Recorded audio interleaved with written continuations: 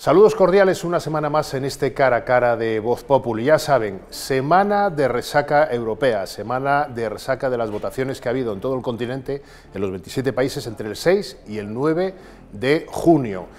Semana en la que hemos asistido a un aumento notable del giro a la derecha, que ya se venía... Eh, precipitando en las instituciones europeas, pero que ahora con el avance de la ultraderecha se refuerza después de estas elecciones del pasado domingo y de toda la semana anterior. Un giro que en España tiene lectura particular, una lectura en la que el Partido Popular ha ganado estas elecciones por 700.000 votos al Partido Socialista. No hubo plebiscito, dice el Partido Socialista, porque Pedro Sánchez aguanta. Sí, dice el Partido Popular, pero ha perdido por 700.000 votos y eso determina que su situación hoy es más débil que ayer. Además, ha habido otra serie de componentes que hay que analizar. Tenemos que analizar, por ejemplo, ese fenómeno albise, ese fenómeno no sabemos si calificarlo de ultraderecha o contestatario o cómo calificarlo, pero que está, eh, están analizando ahora los cuarteles generales para saber a quién perjudica y a quién beneficia. Hay que hablar también del batacazo gordo que se ha dado Sumar y que ha llevado a que eh, Yolanda Díaz, vicepresidenta del Gobierno, vaya a dejar todos los cargos orgánicos que ha tenido en esa formación. Bueno, solo dos meses de coordinadora general, tampoco ha sido mucho, pero bueno, ella lo va a dejar, se va a mantener en el Gobierno, pero quiere dejar todos los cargos orgánicos para que sean los partidos formadores de Sumar los que decidan a su sucesor o sucesora. Bueno, pues para hablar de todo esto, que es una agenda amplia para los 20-25 minutos que estamos acostumbrados a llevarles a sus casas, a sus teléfonos, a sus tablets, eh, hemos traído a alguien que es un viejo conocido de esta casa. Es, fue secretario general de UGT, Cándido Méndez, encantado de tenerle con nosotros. Muchísimas gracias por la invitación. Cándido Méndez está de gira porque, bueno, viene a hablar de Europa, viene a hablar de política, viene a hablar de economía, viene a hablar de amnistía, pero viene a hablar también de su libro, como no podía ser de otra manera, por una nueva conciencia social, escrito por él en primera persona, con unas nuevas recetas para el mercado de trabajo que dice que hay que estudiar en pasado, presente y futuro del empleo. Bueno, vamos a empezar hablando, luego hablaremos del libro de Cándido Méndez, pero vamos a empezar hablando de, de las urgencias informativas esa resaca electoral. ¿Usted se esperaba este giro a la derecha? Bueno, eh, yo ha habido un momento en que llegué a pensar que, la campaña, porque creo que las campañas electorales en la actualidad tienen mucha importancia, ¿no? Eh, que a lo largo de la campaña se podía incluso producir eh, como resultado un empate, un empate entre los dos grandes partidos, que luego no, no, ha sido así, ¿no? Y en ese sentido yo, eh, lo primero que, me gusta remarcar es que hay una dinámica en las elecciones eh, últimas, en las elecciones, hablo de las elecciones de ámbito general, en las cuales va aumentando el peso de los dos grandes partidos, digamos. Se refiere a las últimas generales del 23 de julio del año pasado y estas. Digamos, eh, la impresión que yo tengo es que el episodio de fragmentación del espectro político en España eh, pues, eh, pues se va reduciendo. Y yo creo que el único mensaje claro que tienen, que tienen las elecciones, estas elecciones eh, del pasado día 9, junto con las del 23, es que los ciudadanos lo que quieren es que los dos grandes partidos se pongan de acuerdo porque tenemos retos y desafíos muy importantes que desarrollar, ¿no? En el marco de la transformación verde, la revolución digital, los problemas de la vivienda para los jóvenes, etcétera, ¿no? Y luego, por otro lado, ya analizando, digamos, en, trazos más concretos el resultado de las elecciones, en el ámbito de, la izquierda, o digamos, en la propuesta de, de bloques que planteó el presidente del gobierno en su día, sobre todo a partir del 23 de junio. Luego le iba a preguntar por la izquierda, por Yolanda Díaz, por el PSOE, por cómo queda todo, pero deje, vamos por partes, que decía, que decía el clásico. Usted ha hecho una afirmación con la cual estoy de acuerdo a medias, porque dice, vamos a un resurgimiento, digamos, del bipartidismo, imperfecto, como ha sido siempre España, PP-PSOE, PSOE-PP, pero claro, y tenemos el fenómeno Albise, que ha conseguido 800.000 votos. Y la diferencia entre PP y PSOE es nada menos que de 700.000. Quiero decir, ¿cómo enjuicia un fenómeno como Albise? Bueno, ¿Es extraparlamentario? ¿Cómo, cómo lo Claro que quizás por, porque he tenido experiencias del pasado, he, podido observar episodios parecidos como el de Ruiz Mateo. Yo creo que unas elecciones de circunscripción única para algo que todavía, pues lamentablemente, gran parte de la opinión pública española las ve como lejanas cuando realmente están muy cercanas, porque las decisiones de las instituciones europeas, europeas son decisivas para España. Yo creo que esto es una especie de, digamos, de, de flor electoral que, aflora en una, en, una campaña como es la campaña de elecciones al Parlamento Europeo, pero yo creo, bueno, no solo creo, deseo, ¿no? que al final esto se sumiría en términos de, voto útil eh, en unas nuevas, eh, eh, cuando se produzcan las nuevas elecciones generales. Esa es la impresión que tengo, con lo cual no quiero decir que haya que minusvalorarlo, entre otras cosas porque lo que, lo que me cuentan, no sé si es así, creo que el, electorado de, estas 800.000 personas están entre 19 y 35 años, ¿no? Que, es quizás lo que haya que ver con más atención. El Partido Popular, que bueno, no puede que no sea el principal perjudicado, pero en la medida en que Alvise se declara en el lado de la derecha del espectro político, algo le perjudica. El Partido Popular no quiere saber nada del personaje, dice que es un problema de Vox, que allá se entiendan en su guerra particular con el otro partido a la derecha del, PP. ¿Usted cree que eso es así o cree que el PP también debería estar preocupado por un fenómeno como Alvise? Bueno, yo es que creo que tiene, lógicamente, que tiene un partido interpuesto. Eh, hay un partido por medio que es el que primero se tiene que preocupar, que es Vox, ¿no? Yo creo que, que en ese escenario, si analizan los dos bloques, hay un bloque del que se podría decir, eh, el bloque que encabeza el Partido Socialista ¿no? y, Pedro Sánchez, que eh, lo que se está produciendo es que se está comiendo la cola, digamos. Es un bloque que se está comiendo a sí mismo, está comiendo la cola y, por lo tanto ha habido pues una reducción general de su espectro. Lo que pasa es que ha habido una redistribución interna del, voto, pero han perdido. Han perdido, por, ejemplo, eh, el bloque que facilitó la, la, investidura de Pedro Sánchez en este momento no lo facilitaría. No. ¿no? Ahora, hablamos de eso. y, por, otro lado, por otro lado, bueno, yo, yo creo, por ir al brochazo gordo y simple, ¿no? Los tres partidos de la, de, la del partido de la derecha y los dos partidos de extrema derecha lo que han hecho ha sido crecer. Uno de 0 a 3, el otro creo que han ganado dos y, el, y el Partido Popular ha sido el que ha experimentado un aumento espectacular. Digamos, por el bloque de la derecha han crecido, han crecido los dos y ha aparecido otro, digamos, no ha habido, a mi juicio, no, no, no se ha producido este fenómeno que yo comentó anteriormente de que se estuviera mordiendo la cola el, el, el bloque de la derecha. ¿no? Usted ha sido secretario general de UGT, estamos con Cándido Méndez hablando de los resultados europeos y de otras cosas que hablaremos más adelante. Ha sido secretario general de UGT, es militante socialista, ha sido alto cargo de ese partido que ahora gobierna España. Bueno, desde Ferraz se dice, y el propio Pedro Sánchez lo ha venido a verbalizar, que aun perdiendo el PSOE ha ganado porque el plebiscito que quería Alberto Núñez Fijo no ha triunfado. ¿Usted lo comparte? ¿Cree que esto es así o es un análisis interesado? Bueno, verá, y esto puede parecer una, pequeña broma, ¿no? Pero cuando yo he visto la interpretación del resultado en el seno del partido, en el que milito desde hace 54 años, eh, y, he visto la gestualización que se produjo ayer, eh, o antes de ayer, eh, en, la, en, la, reunión de la Comisión Ejecutiva ah. que estaban aplaudiendo, se dije, pues va a haber elecciones anticipadas, ¿no? Pues, ¿Por qué? Pues, ¿Por qué? Porque la gestualización obedece, digamos, a una lógica electoral, ¿no? Eh, Aunque no se cree nada, Cándido Méndez no se cree eh, nada. bueno, yo, lo que me gustaría es que la procesión fuera por dentro. Es decir, lo que se dice hacia afuera es una cosa, ¿eh? querría yo pensar que es así, pero que luego, como es lógico, pues tendría que producirse una reflexión, una reflexión en profundidad, serena, eh, y, además eh, teniendo incluso en cuenta que habida, eh, habida cuenta, y permítaseme la, reiteración, que la estabilidad de la legislatura no depende exactamente del Partido Socialista. No, depende de Carles Puigdemont. claro, por lo tanto, un análisis sereno tendría primero que llevarte a reconocer que se está produciendo un retroceso, un retroceso incesante. ¿eh?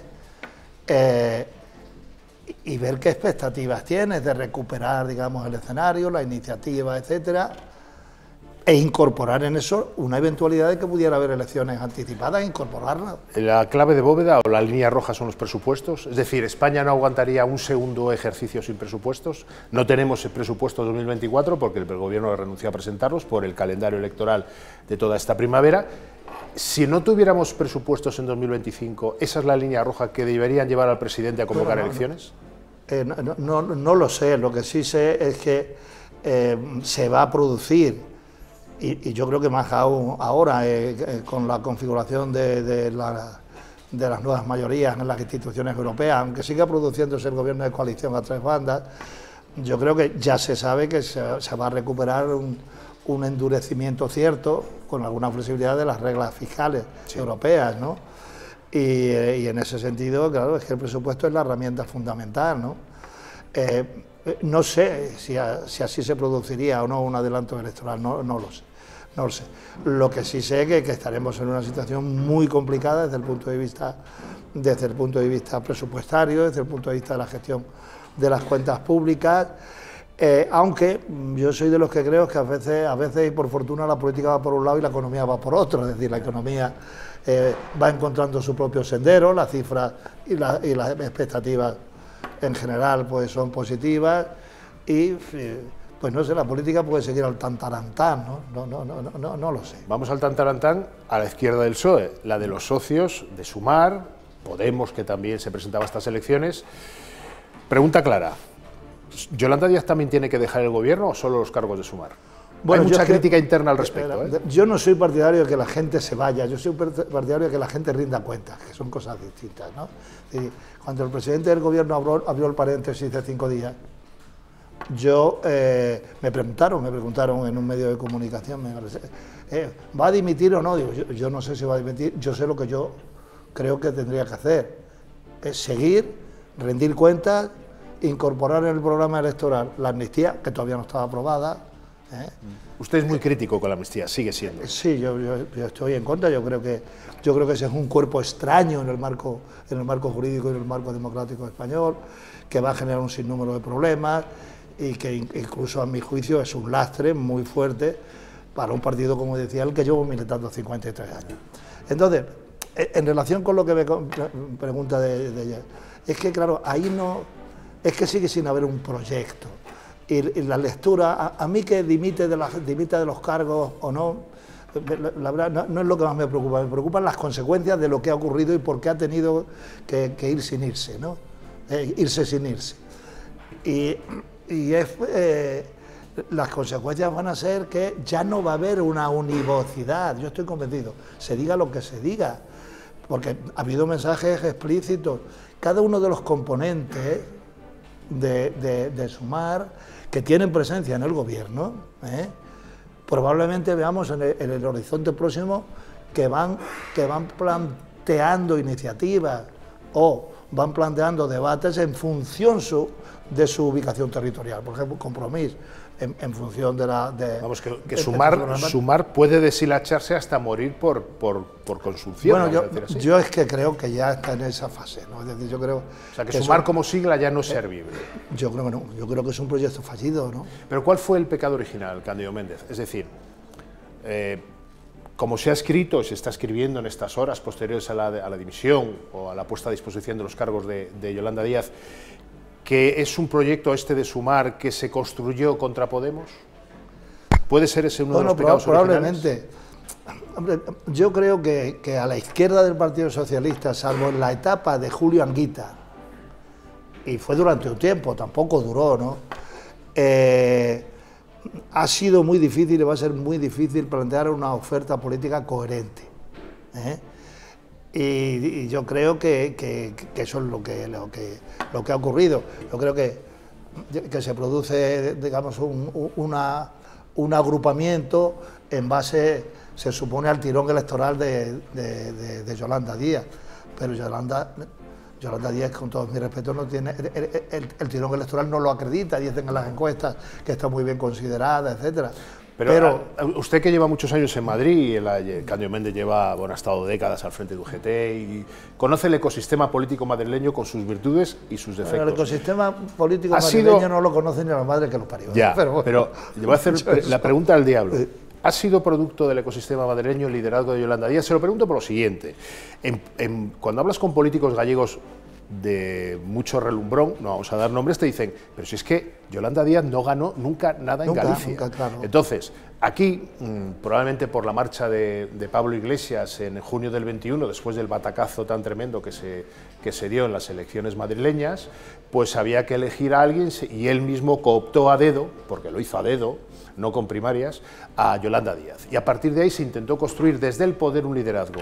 ¿Ese puede ser otra de las fallas de este eh, eh, proyecto? Eh, probablemente, en, parte, en parte, digamos, fue un artefacto construido en la Villa y Corte, pero también yo creo que, que, lo que ha ocurrido es que la ruptura con Podemos, Podemos, Podemos era el, partido que que suponía la columna vertebral, ¿no? el esqueleto. ¿no? Y que no está muerto, como se ha visto en estas elecciones Claro, efectivamente. ¿no? Entonces yo creo que eso fue un error gravísimo. ¿no? Estaba de parranda, como dice la canción. Que, Yolanda, Yolanda Díez yo creo que, que, llegó a la conclusión de que podía, digamos, mm, volar sola, pero necesitaba un partido político detrás. Ahora, ahora quizás Izquierda Unida pueda aportar esa dimensión orgánica, ¿no? Pero no lo sé, lo veo, veo muy complicado el presente y el futuro de Sumar. Al margen de Sumar, hay otros socios tan importantes o más para la mayoría de Pedro Sánchez y para que Pedro Sánchez pueda continuar a la Móncula, como son Esquerra Republicana de Cataluña por un lado y Junts per Cataluña. Vamos a hablar de Cataluña en este tramo final de la entrevista con Cándido Méndez, exsecretario general de UGT. Vamos a ver, eh, Carles Puigdemont eh, ha dicho que, bueno, que quiere ser presidente de la Generalitat, eh, Salvadorilla también lo quiere ser. ¿Usted cree que la legislatura pende de eso? Es decir, ¿la legislatura en las Cortes Españolas, en el Congreso, depende de lo que pasa en el Parlamento de Cataluña? Yo creo que está todo muy entrelazado, efectivamente. Ese condicionante existe y es un, condicionante, eh, digamos, de mucho peso. además, se da una circunstancia que creo que yo no dudo de la buena voluntad del presidente del gobierno cuando dijo que era una apuesta por la reconciliación, ¿no? pero el último acontecimiento en la constitución del Parlamento pues ha refutado absolutamente esa afirmación, ¿no? Eh, en tanto en cuanto eh, pues han desobedecido eh, pues, una sentencia eh, del Tribunal Constitucional. Se refiere Cándido Méndez, digo para aclarárselo a los oyentes, a la decisión de la mesa de edad del Parlamento, antes de que se construyera la mesa presidida por Rull, de que pudiera votar el expresidente Puigdemont, al cual expresamente el Tribunal Constitucional había prohibido el voto telemático. y luego hay otro factor. Cuando termina la elección de la mesa, una de las la declaración de uno de los portavoces, que creo que es de Jun, dice aquello de eh, no sé si de Jung o de Esquerra, hemos constituido una mesa antirrepresiva, ¿no? y, eh, por, no recordar el día de la aprobación definitiva de la ley de amnistía, que se habló de victoria, no se habló de reconciliación. Los partidos independentistas hablaron de victoria. El antónimo de victoria es derrota. Por lo tanto, si, alguien, si alguien ha vencido, otro ha sido derrotado. ¿no? Entonces, ese es un elemento que si, el presidente del gobierno tenía la expectativa de que a partir de la ley de amnistía se podía producir ese punto de reconciliación, yo creo que eso no se ha producido, la presión va a seguir y en el momento creo yo que, que los independentistas y particularmente Jung considere que no es útil seguir apoyando al gobierno en relación con sus designios, pues probablemente en cualquier recodo del camino pues pueden producir una situación crítica. Ahora mismo, esta semana, ¿usted qué ve más cerca? ¿Elección de Illa como presidente de la Generalitat, allá por finales de junio o julio, o repetición de elecciones a partir del 26 de agosto? Yo le voy a decir lo que yo deseo. Yo deseo que Illa sea presidente de la Generalitat. Eso es lo que yo deseo. Pero lo que veo, lo que veo está más cerca de una repetición de elecciones en Cataluña, con las consecuencias que tendría para la gobernación a nivel, eh, a nivel de, de España, veo más una repetición de elecciones que, una investidura, hoy por hoy, en Cataluña. Ahora mismo, ¿no? ¿Y por qué? ¿Porque no se fía de Esquerra? ¿Porque...? Eh, no, porque, mm, claro, eh, es que eh, lo que he leído es que había, había habido unas conversaciones fuera con Marta Rovira por parte del PSC, que parece ser que, que, habían llegado a un acuerdo, pero es que en paralelo estaban negociando con, con, con Jun, ¿no? Entonces, eh, yo creo que hay mucha, mucha, mucha incertidumbre, ¿no? Pero en cualquier caso, si eso se produjera, si eso se produjera, que a mí me parecería bien, sería también, digamos, una andadura en Cataluña muy difícil. ¿Por qué? Porque yo creo que Esquerra Republicana intentaría también gobernar todo lo que arranque del gobierno de la nación. Hmm. Y, entonces tendría un presidente de la Generalitat, el señor eh, Salvador Illa, una mesa del Parlamento controlada por los independentistas y una presión de, la fuerza decisiva que tienen en el Parlamento de la, Nación eh, en función de acreditar que ellos arrancan cosas. Digamos, sería también una situación muy complicada, muy difícil. Realmente complicada. Estamos con Cándido Méndez, ex secretario general de, de UGT durante más de 20 años una persona que sabe bastante de la política española y yo no quiero acabar esta entrevista sin preguntarle por economía, porque antes nos ha dicho, ha deslizado en una de sus respuestas, que la economía en España, como en todos los países occidentales y desarrollados, va un poco por libre independientemente de las cosas que hacen los políticos, vamos a dejarlo ahí. El gobernador del Banco de España, Hernández de Cos, que ahora se va, ha hecho un último informe en el que dice, en que reconoce que la economía va a crecer al 2,3, lo que pasa que alerta sobre la inflación. Eh, se habla también de la que la productividad en España sigue siendo el caballo de batalla. Eh, ¿Son esos dos, inflación y productividad, los, dos grandes caballos de batalla que tendría que hacer frente el Gobierno en sus presupuestos y en, lo que la legislatura que quiere iniciar? A, mí me parece, evidentemente, ¿no? A mí me parece que tendría que ser sobre todo y fundamentalmente sobre la productividad porque sobre una mejora de la productividad se puede producir la mejora de otros aspectos. ¿no? Los países más productivos pues son los países que tienen mayor nivel de empleo, mayor calidad en el empleo, mejores salarios. Son los países que pueden reducir la, jornada laboral y son los países de menor desigualdad. Por lo tanto, para mí, la palabra clave es productividad. Lo que ocurre es que esto es algo que hay que plantearse con luces largas. ¿no? Yo, yo en, el, en, el libro eh, hablo de un pacto estratégico por el empleo y la productividad, pero ese eh, exige de una condición necesaria, no suficiente. La condición necesaria es que haya un consenso político y un consenso social muy sólido. El consenso social, el diálogo social sí existe, con altibajo. El, el, consenso político es el que brilla por su ausencia. Se refiere Cándido Méndez a este libro que ha escrito, que se titula Por una nueva conciencia social, en el que pide hablar del pasado, presente y futuro del empleo en España. Y a mí se me ocurre preguntarle... Em, ¿Por qué, es necesaria una nueva conciencia social? ¿La vieja, la de la izquierda, ya no sirve? No, la vieja claro que sirve. Sobre la base de esa vieja conciencia social, que es la, conciencia en la lucha por los derechos y por el trabajo, yo creo que hay que acumular una nueva dimensión que es, eh, por, ser, por ser concreto, es que si nosotros queremos perseguir la neutralidad climática que yo defiendo, si queremos que la revolución digital sea positiva y que no vulnere la calidad del empleo, que favorezca la mejora de los salarios. Debemos de, tener un eslabón que enganche neutralidad climática y eh, revolución digital, que es precisamente el trabajo, la importancia del trabajo, trabajo con derechos. Yo lo denomino de tres, descarbonización, digitalización, derechos en el trabajo. ¿Y dónde está el elemento de la necesidad de que generemos una nueva conciencia social? Que para la neutralidad climática el modelo de crecimiento económico que tenemos no sirve. ¿En España o en Europa? No, en el mundo. En el mundo. En el mundo, en el mundo, digamos.